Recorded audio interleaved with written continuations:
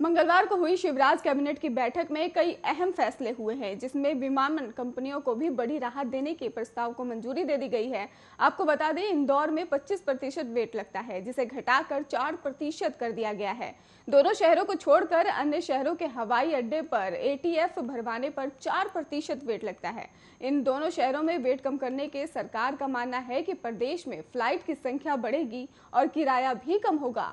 शिवराज सरकार कैबिनेट ने मुख्यमंत्री उगमी योजना को मंजूरी दे दी है और इस योजना के तहत बारहवीं पास युवाओं को भी लोन उपलब्ध कराया जा सकेगा।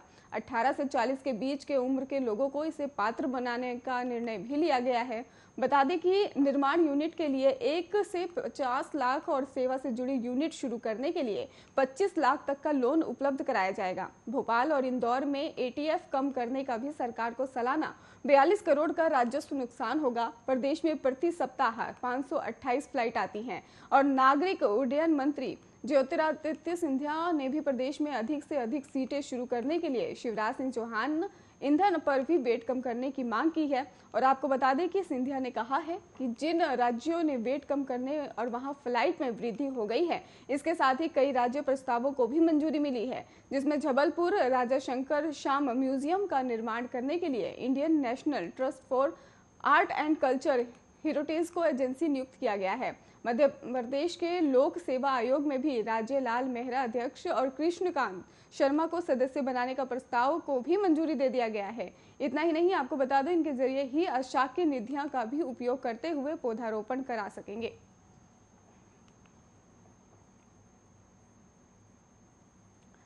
छत्तीसगढ़ के दुर्ग ज़िले में कांग्रेस के निगम पार्षद की निर्मम हत्या की घटना सामने आई है। इस मामले में पुलिस ने 11 लोगों को हिरासत में लिया है। पुलिस अधिकारियों ने मंगलवार को यहाँ बताया कि दुर्ग के भिलाई चरोदा नगर निगम के कांग्रेस के पार्षद सूरज बंछोर की हत्या के मामले में पुलिस ने 11 लोगों को हिरासत में ले लिया है। पुलिस अधिकारियों ने बताया कि पुलिस को सोमवार को ही पार्षद की संदिग्ध परिस्थितियों में मौत की जानकारी मिली, जिसके बाद पुलिस दल रवाना किया गया। उन्होंने बताया कि पुलिस को जानकारी मिली है कि बंछोर सोमवार रात शहर के हथखोज तालाब के किनारे अपने 11 मित्रों के साथ गए थे और इस दौरान वो गंभीर रूप से घायल हो गए और उनके साथ मौजूद चार मित्रों ने भी उन्हें करीब से अस्पताल पहुँचाया। और वहाँ आपको बता दें कि डॉक्टरों ने पंचोर को मृत घोषित कर दिया। पुलिस अधिकारियों ने बताया है कि पार्षद के शरीर शरीर पर भी कई जगह पर चोट के निशान दिखे हैं और पुलिस को आशंका है कि पार्षद की हत्या की गई है।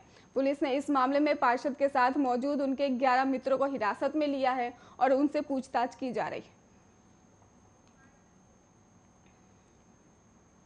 छत्तीसगढ़ के जंजीर ज़िले में भी गेम खेलने के दौरान मोबाइल में धमाका हो गया। इस धमाके में एक नौ साल का बच्चा बुरी तरह से झुलस गया है।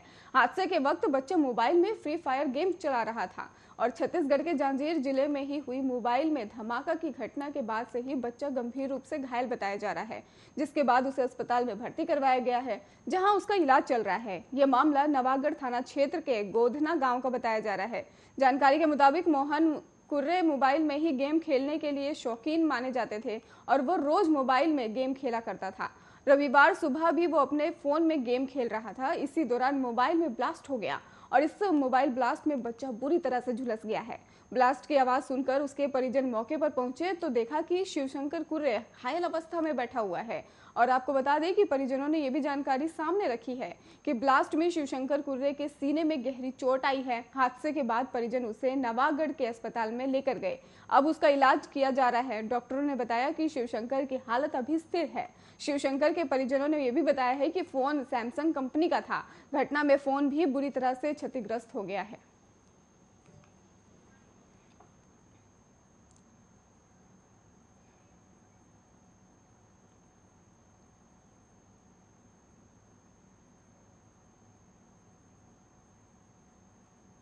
लड़की के प्यार के चक्कर में लड़कों के गुटों में टकराव। खून खराबे के मामले तो कई बार सामने आते हैं। लेकिन छत्तीसगढ़ के अंबिकापुर में एक ऐसा मामला सामने आया है जिसने हैरान कर दिया है और उसका वीडियो भी जमकर वायरल हो रहा है। दरअसल यहाँ एक लड़के के प्यार के चक्कर में दो लड़कियों के गुट में आपस में भिड़ गए। और इतना ही नहीं, दोनों ओर से लड़कियों में खूब गाली गलोच भी की गई है।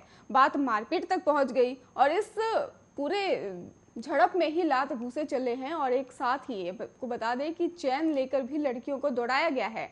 मिली जानकारी के मुताबिक अंबिकापुर में दो नाबालिग लड़कियों के गुटों में सड़क पर जमकर मारपीट हुई है।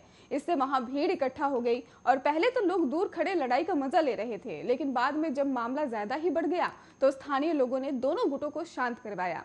बताया यह भी जा रहा है कि बरम रोड पर बीचों बीच हुए इस हंगामे के कारण काफ़ी अफरा तफरी का माहौल भी बन गया था।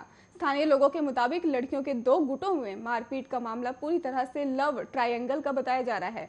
लोगों ने यह भी बताया कि यहाँ में बरम पारा में रहने वाली लड़की एक लड़के से प्यार करती है, उसी लड़के से शक्ति पारा में रहने वाली लड़की प्यार करती है। इसी बात की जानकारी होने पर दोनों लड़कियाँ नाराज़ हो गई और अपने अपने गैंग की लड़कियों को लेकर बीच सड़क पर झगड़ा करने बैठी और वहाँ पर मौजूद लोगों का कहना है कि लड़कियों के हाथ में लोहे की चैन भी थी। कई लड़कियों ने एक दूसरे को चैन लेकर दौड़ाया भी है। हालाँकि इस मामले में अभी तक पुलिस की ओर से कोई बयान सामने नहीं आया है।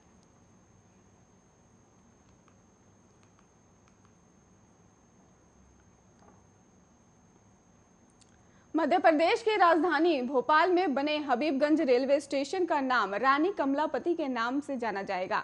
देश के पहले वर्ल्ड क्लास रेलवे स्टेशन का उद्घाटन प्रधानमंत्री नरेंद्र मोदी ने किया है। मध्य प्रदेश जनसंपर्क के मुताबिक इस स्टेशन का निर्माण 1905 में ही किया गया था और उस समय इसे शाहपुर के नाम से जाना जाता था।